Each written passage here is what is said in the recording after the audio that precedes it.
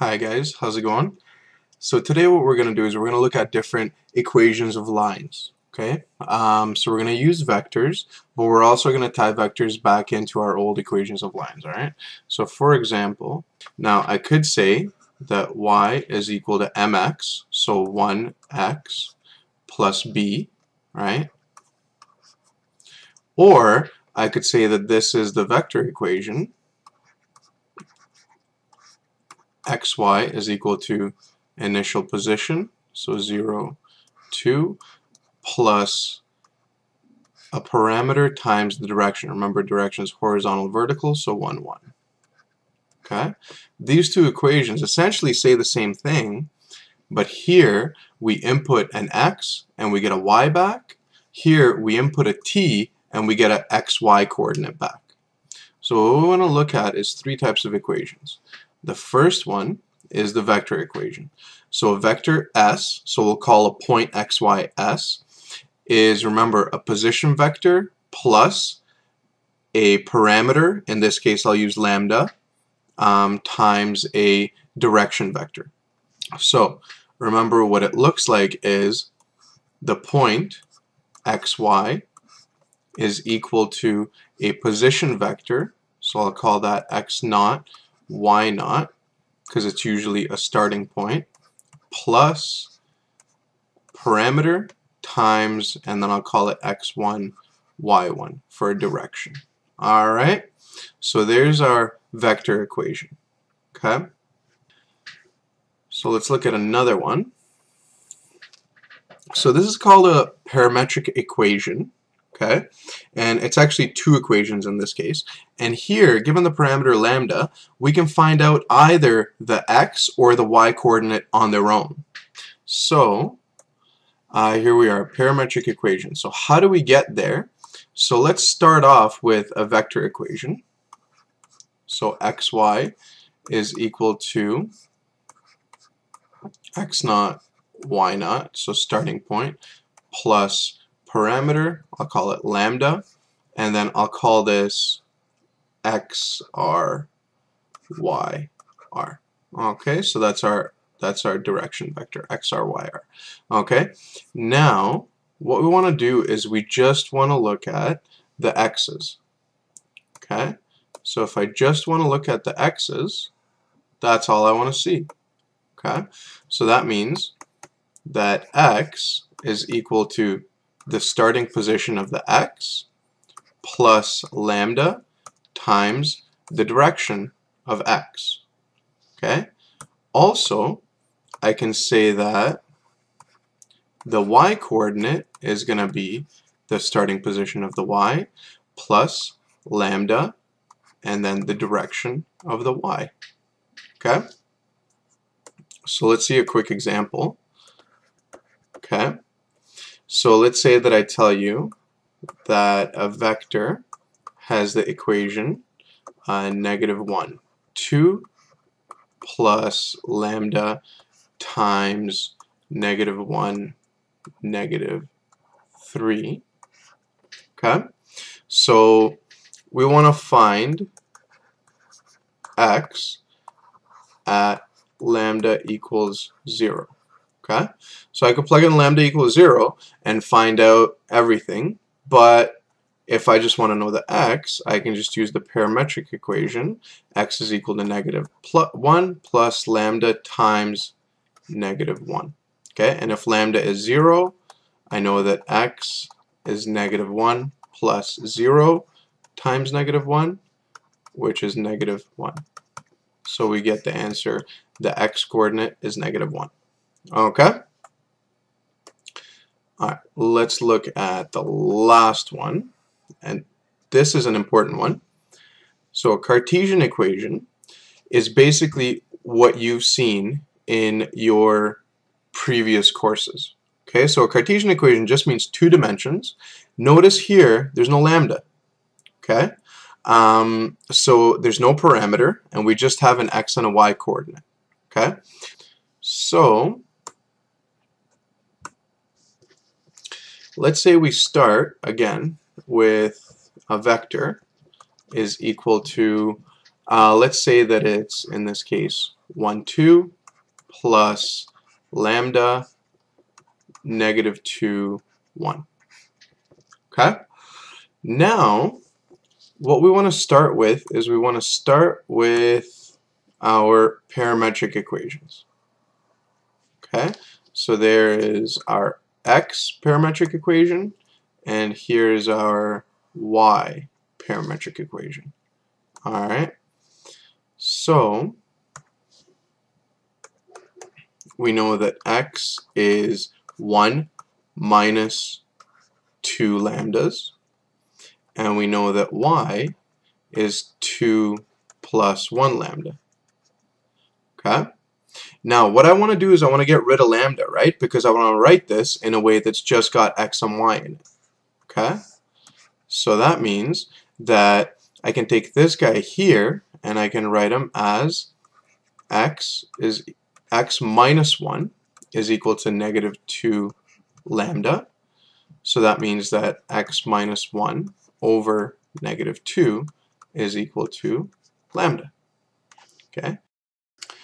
This equation down here we can now rewrite as y minus 2 is equal to lambda.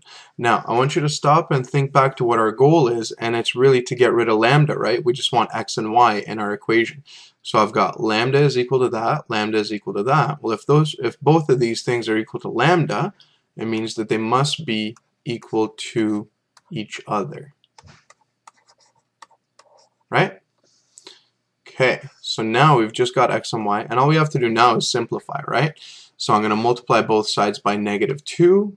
So I've got x minus 1 is equal to negative 2 times y minus 2, right? So all I did was I cross multiplied. There's like a 1 there that I multiplied by, right?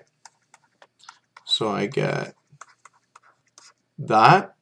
And now, to put this into standard form, right? Remember what standard form looks like? It looks like ax plus by plus c is equal to 0.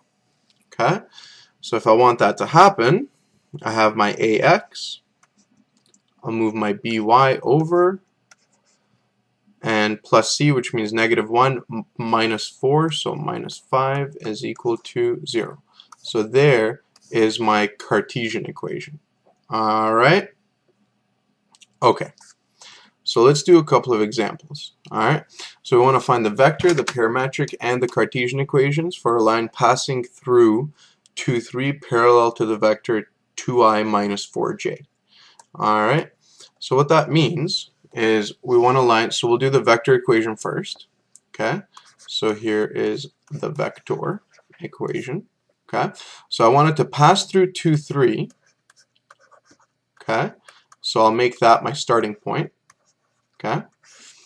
Plus some parameter times the direction. Well, it's in the direction of the vector 2, negative 4,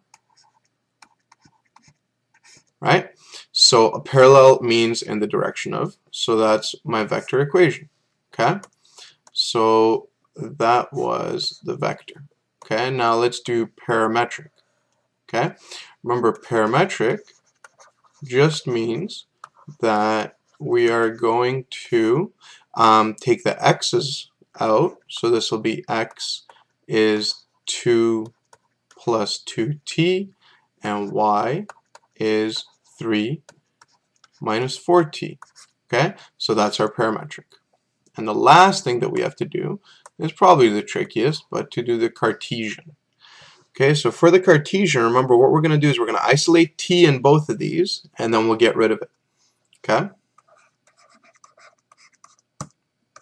So Cartesian will be, um, so now I want to isolate t, so it'll be x minus 2 over 2 is t, because I got rid of that 2 by subtracting, got rid of that 2 by dividing, and I got that y minus 3 over negative 4 is equal to t. Okay? So, now that I know that that's true, I know that both these things are equal to each other because they're both equal to t. Right? So I can say that x minus 2 over 2 is the same as y minus 3 over negative 4. Now I'll cross multiply So I'll get negative 4 x minus 2 is equal to 2 y minus 3. So that'll tell me that negative 4x plus 8 is equal to 2y minus 6. And now to rearrange, I got negative 4x minus 2y plus 8 plus 6, so plus 14 is equal to 0. And now remember, I don't want a leading 1 in standard form, so I'm going to multiply everything by negative 1, and I'll get 4x plus 2y minus 14 is equal to 0. Okay, and this I'm going to set up for you and I'm going to leave you to do for homework and then we'll talk about it in class. But the point of intersection, we need to figure out when this is equal to that. Okay, now there is one little thing that I want to change here and I left it like this to start off with but if we have two different vectors we don't know that their time scales are the same. So really well if I call this one t I have to call this one something else okay? So I'm just gonna rename it k alright?